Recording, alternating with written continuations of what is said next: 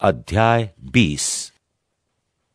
स्वर्ग का राज्य किसी गृहस्थ के समान है, जो सवेरे निकला कि अपनी दाग की बारी में मजदूरों को लगाए और उसने मजदूरों को एक दिनार रोज पर ठहराकर उन्हें अपनी दाग की बारी में भेजा। फिर पहर एक दिन चढ़े निकलकर और अनेकों को बाज़ार में बेकार खड़े देखकर उनसे कहा, तुम भी दाग की बारी में जाओ और जो कुछ ठीक है तुम्हें दूँगा। सो वे भी गए। फिर उसने दूसरे और तीसरे पहर के निकट निकलकर वैसा ही किया। और एक घंटा दिन रहे, फिर निकलकर औरों को खड़े पाया और उनसे कहा, तुम क्यों यहाँ दिन भर बेकार खड़े रहे? उन्होंने उससे कहा, इसलिए कि किसी ने हमें मजदूरी पर नहीं लगाया। उसने उनसे कहा, तुम भी दाग की बारी में जाओ। साँझ को दाग की बारी के स्वामी ने अपने भंडारी से कहा, मजदूरों को बुलाकर, पिछलों से लेकर पहलों तक उन्हें मजदूरी दे दे।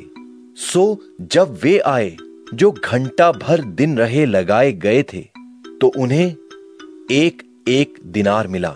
जो पहले आए, उन्होंने ये समझा कि हमें अधिक मिलेगा, परंतु उन्हें भी एक ही एक दिनार मिला। जब मिला तो वे गृहस्थ पर कुड़कुड़ा कर कहने लगे, इन पिछलों ने एक ही घंटा काम किया और तूने हमारे बराबर कर दिया, जिन्होंने दिन भर का भार उठाया और धूप सही, उसने उनमें से एक को उत्तर दिया, हे मित्र, मैं तुझसे कुछ अन्याय नहीं करता। क्या तूने मुझसे एक दिनार न ठहराया था, जो तेरा है, उठा ले और चला जा। मेरी इच्छा यह है कि जितना तुझे उतना ही इस पिछले को भी दूँ। क्या उचित नहीं कि मैं अपने माल से जो चाहूँ सो करूँ? क्या तू मेरे भले होने के कारण बुरी दृष्टि से देखता है? इसी रीति से जो पिछले हैं वे पहले होंगे और जो पहले हैं वे पिछले होंगे। यीशु यरूशलेम को जाते हुए बारह चेलों को एकांत में ले गया और मार्ग में उनसे कहने लगा देखो हम यरूशलेम को जाते हैं और मनुष्य का पुत्र, महायाजकों और शास्त्रियों के हाथ पकड़वाया जाएगा और वे उसको घात के योग्य ठहराएँगे और उसको अन्य जातियों के हाथ सौंपेंगे कि वे उसे ठट्टों में उड़ाए और कोड़े मारे और क्रूस पर चढ़ाएँ और वो तीसरे दिन जिलाया जाएगा। तब जब्दी के पुत्रों की माता ने अपने पुत्रों के साथ उसके पास आकर प्रणाम किया और वो उससे कुछ मांगने लगी। उसने उससे कहा तू क्या चाहती है? वो उससे बोली ये कह कि मेरे ये दो पुत्र तेरे राज्य में एक तेरे दाहिने और एक तेरे बाएँ बैठे। यीशु ने उत्तर दिया तुम नहीं जानते कि क्या मांगते हो।